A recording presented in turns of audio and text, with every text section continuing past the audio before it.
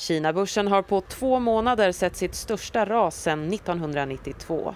Och igår stoppades aktiehandeln för större aktieägare i ett halvår framöver i ett nytt försök från myndigheterna att stoppa raset.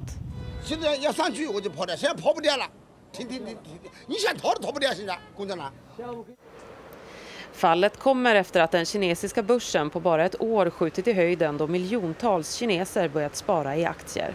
Även i Sverige drabbas sparare nu av krisen. 5% av svenskar har Kinafonder och var tredje svensk har investerat i Asienfonder. Enligt Karsten Brzezinski, chefsekonom på tyska banken Ing Germany, så är situationen i Kina ett större hot mot den europeiska ekonomin än Greklandskrisen.